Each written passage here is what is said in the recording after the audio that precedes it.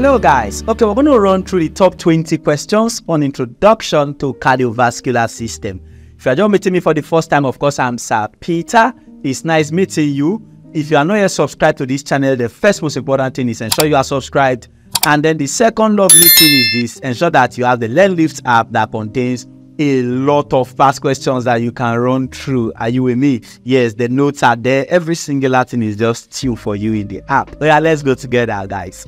So we're going to look at the first question here. The beautiful question here says that, let's look at it together. Wow, who is excited? What role do valves play in cardiovascular system? The role of valves. I'm sure you know the correct answer. Option A says generate heartbeat. Option B says maintain blood pressure. C says prevent backflow of blood. And option D say increase vascular resistance. Now, what role do valves play in cardiovascular system? Of course, valves they ensure unidirectional flow of blood or one-way flow of blood and they prevent the backflow of blood. That makes option C the correct answer. Look at question 2. In this beautiful question 2, we're given this lovely question. What is the main function of the lungs in the cardiovascular system? Of course, the lungs. What do they use? What are they used for in cardiovascular system in particular as related to cardio? Option A says metabolize waste products. Mm -mm. Option B says filter blood. Option C says exchange oxygen and carbon dioxide. Option D says produce red blood cells. Now, um, okay, if you say bone marrows, of course, you can say they produce red blood cells. Are you getting me now? Metabolized waste product, waste product majorly is kidney. Are you getting me now? Filter blood, filter blood, of course, kidney also filter blood. And then option C says exchange oxygen and carbon dioxide. That makes option C the correct answer, which is the main function of the lung lungs in cardiovascular system. Option C, the correct answer. Look at question 3, very lovely. In our beautiful question 3 here, the question says, what is the purpose of passive filling of the heart chamber? We have established something that um, the heart is filled passively, not actively. What is the purpose of the passive filling? Option A says to actively draw blood into the heart. Mm. Option B says to prevent bad flow of blood. That's wrong. Option C says to maintain positive mean pressure. Option D says to ensure efficient ejection of blood. Of course, the heart is filled passively during diastole to ensure efficient ejection of blood during to That makes option P the correct answer. Start the next question here. Question 4. Who is excited? Let's go, guys. See, the beautiful thing, what we're making today are following that you are getting these things. If you don't feel Trinana, you're not following the eh, way. Eh. What is the primary function of cardiovascular system in relation to hormones? So hormones, it should be the thing that you should be looking at the option. Is it production of hormones? No. Now, hormones are chemical substances or biochemical substances produced in minute quantity in one part of the body and are transported to the point of action where they serve their specific purposes. And hormones are produced in glands, right? And then they are now transported by the aid of the cardiovascular system. That's beautiful, by either diffusion or something. Option B says regulation of hormonal level. That's wrong. Option C says transport of hormones. Option D say elimination of hormones. Now, cardiovascular system, what's the first relation with hormones? Of course, transport of hormones is the answer. Look at the next question here, question 5.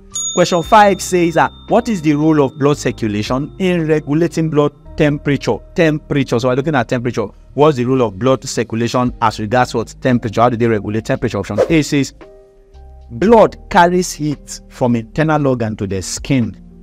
Option B says blood absorbs excess heat from the environment. Wow, absorber. Option C say blood distributes heat to internal organs. Wrong. Option D say blood releases heat from the lungs. Now, what's the correct answer? Of course, blood carries from the internal organs to the skin so that they can do what to release it to the environment. Option D is the correct answer. Look at the next question here, question 6. Question 6 says, what and which factor influences the rate of blood flow in the blood vessels? Of course, we have looked at three major factors. What are the three factors? Of course, number one, we said it is called your um your blood, your sorry, your number one is called your vessel diameter. Number two is your vessel length. And then number three is called your blood viscosity. These are the three major factors there. Option A says heart chamber. Option B says blood viscosity. Option C says body temperature. And then lung capacity. What's the correct answer? Of course, the correct answer you have there is your blood viscosity, making option B the correct answer. There are just three major of them that we have looked at for the next move. I'm going to show you more. Question 7 here Beautiful question 7 says uh, which organ is responsible for eliminating carbon dioxide from the body? Carbon dioxide, of course, is lungs. Liver, kidney, lungs, skin. Of course, you know the answer, lungs direct. Look at question 8, guys. Let's go. Question 8 says, uh, try this for me. What is the function of cardiovascular system in in transporting immune components. In transporting immune components, of course, immune, immune. Of course, option A says transporting immune cells to the lungs. B says transporting antigens to the skin. Option C transporting immune and, and, and, and transporting antibodies and immune cells through the body. Option D says uh, transporting immune cells to the liver. What is the function of cardiovascular system CVS in transporting immune components? Of course, what's the correct answer? Very simple. The answer is option C there, transporting antibodies and immune cells through their body.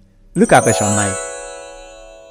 Beautiful question here says that uh, which circuit of cardiovascular system carries oxygenated blood to body tissues? Of course, one carries oxygenated, the other one carries deoxygenated. Pulmonary, we carry deoxygenated blood from the heart to the lungs to receive oxygenation. Once it has received oxygenation, it now transports oxygenated blood back to their hearts. But the question is, which circuit of cardiovascular system carries oxygenated blood to the body tissues? What will carry it? Of course, you should know the direct answer that it is systemic circulation option. A say systemic, B say pulmonary, C say coronary, D says hepatic. Now, what's the correct answer there? Of course, option A is the correct answer, systemic circulation. What's pulmonary? Pulmonary is what I just explained from heart to the lungs back to the heart against pulmonary. Which one is coronary? Coronary is will circulate the, the, the, the substances of the heart. Heart, you are supplying everything. What will supply the heart in particular? Of course, is coronary circulation. Which one is hepatic circulation? Of course, anytime you hear the word hepato, hepatic, that's liver. So hepatic artery, have the hepatic artery, hepatic vein, they're carrying blood to the way everybody down to the liver. And then there's what is also called your portal hepatic portal triad system. Let's not go into the into that. It's too early to look into all of that yet. As we move, I'm going to show you more. Question 10. Hey, let's go. Question 10 says, What is the function of cardiovascular system in transporting nutrients? Cardiovascular system and nutrients. Nutrients is what we're looking at here. Absorb nutrients from the lungs. Is it lungs you can absorb nutrients? You see that one no follow. Option B says transport nutrients from the digestive system to cells and tissues. Option C says synthesize nutrients in the liver, eliminate excess nutrients from the body. What's the correct answer? Option P is the correct answer. Transport nutrients from the digestive system to cells and tissues. Let's go. We are going to 20. Question 11. Question 11 says, which statement accurately describe cardiovascular system blood vessels? Which statement accurately describe cardiovascular system blood vessels? Blood vessels. Option A says rigid wall that do not change in size. Rigid wall that do not change in size. Option B says elastic wall that allow expansion and contraction. Option B says C says smooth muscle layer only in arteries. Option D says thin wall with no valves. Which statement accurately describe cardiovascular system blood vessels? Of course, the blood vessels of cardiovascular system are they elastic or they are rigid? They are elastic and they allow for expansion and contraction. That is option B, the correct answer. You this here now. Feel that. Question 12. In question 12, we're given this beautiful question. What is the main function of kidney in cardiovascular system? Your kidney, what's their main function, bro? Kidneys is what we're looking at here. Transport of oxygen. Oxygen, that's carried out by um, lungs, lungs to exchange oxygen. Filtration of waste products and excess substances. Filtration, majorly, you are talking about kidney there. Share this here now um, option C say oxygen, oxygenation of blood, oxygenation of blood, that's lungs. Option D say exchange of nutrients, exchange of nutrients, talking about nutrients, say liver. Now, what's the correct answer? Main function of kidneys, filtration of waste product, and other. Is the answer. Share this here now. Look at the next question, everybody. Question 13. Question 13 says that which term describe the condition where blood flow through multiple pathways to reach different tissues? You should know this directly what they are talking about here different pathways descending in your heart, different different pathways. Everybody does. How's that? Option A says series circulation. B says open loop circulation, parallel arrangement, and the unidirectional flow. Of course, what's the answer? Parallel circulation or your parallel loop or your parallel arrangement. That is option C, the correct answer. Look at the next question there, question 14. In our question 14, what is the primary function of the heart ventricles? Ventricles. Ventricles are thick, right? Option A is storage of nutrients, never. Regulation of blood pressure, eject, efficient ejection of blood. Option D says oxygenation of blood. What's the answer? Efficient ejection of blood. Efficient ejection of blood. And majorly, you see that in the left ventricle. Yeah. Now, let's go to the next question, question 15. Question 15 says that which type of circulation carried deoxygenated blood to the lungs for oxygenation? Deoxygenated blood to the lungs for oxygenation. You know the answer now. Option A is systemic circulation, pulmonary circulation, coronary circulation, and hepatic circulation. What's the answer? Of course, it is your pulmonary word circulation option B is the answer. Systemic circulation will carry oxygenated blood to the body tissues, coronary, heart itself, supply the heart, and then that. Now, question 16. Look at this sweet question. Sweet question. Which system is true regarding blood flow in cardiovascular system? What is true regarding blood flow in the cardiovascular system? Option A says blood flow is always continuous and not affected by heartbeat. Away. Option B says blood flow originate from the skin and then move to the adult cancer. That one can never be the answer. Option C says blood flow is pulsatile due to heartbeats and become more continuous in blood vessels. Option D say pulsatile flow occur only in veins. What's the correct answer? Of course, blood flow is pulsatile due to heartbeats and become more continuous in blood vessels. That means option C the correct answer. Look at question 17. Ay, ay, ay, ay. Let's go, let's go. Ay, ay, ay, ay. Question 17 here says, uh, what is the primary function of skin in the cardiovascular system? Your skin, what do they do? Option A say oxygen exchange, filtration of waste products, elimination of carbon dioxide, elimination of waste product through sweat. Now, it is not just filtration of waste product, but what do they do? Elimination of waste product through what? Sweat become the correct answer option D. Look at question 18 here. In question 18, the beautiful question says that what is the primary function of cardiovascular system in relation to hormones? Hormones, hormones. Option is it producing hormones. Option is it distributing hormones. And then we have eliminating hormones and then we have storing hormones. Now, they don't produce hormones because hormones are produced in the glands do they eliminate hormones, eliminating hormones, storing hormones? What is the correct answer? Of course, they distribute hormones. Option B is the correct answer. Look at the question number 19, penultimate question. Let's go.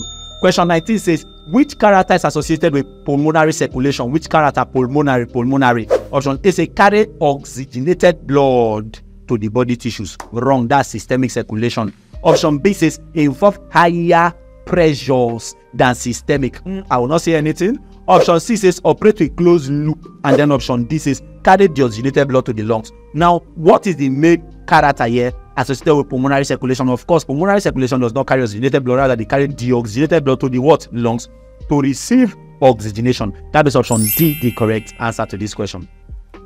So what about involve higher pressure than system? Which one has higher pressure? Of course, systemic circulation has higher pressure, while pulmonary is at the lower pressure if you are comparing pressure in the two of them. Look at the last question, guys. Question number 20. Let's go. Bye, guys. Let's go. Let's go. In question 20 here, explain the significance of positive mean pressure in the cardiovascular system and how it contributes to maintaining circulation during diastole. Positive mean pressure. Option is a positive mean pressure prevent blood circulation during diastole. Wrong positive mean pressure ensure efficient ejection of blood during systole? I don't know. Option C say positive mean pressure is irrelevant to the cardiovascular system. It's not true. Positive mean pressure contribute to the relaxation of the muscles. What's the correct answer? Of course, positive mean pressure ensure efficient ejection of blood during systole. That makes option B the correct answer. Of course, this brings us to the end of everything that we should know about the top 20 questions on introduction to cardiovascular system. Bye guys, see you quickly in the next class. If you can subscribe, do that very quickly and then check out the Learn Lift. Enjoy guys.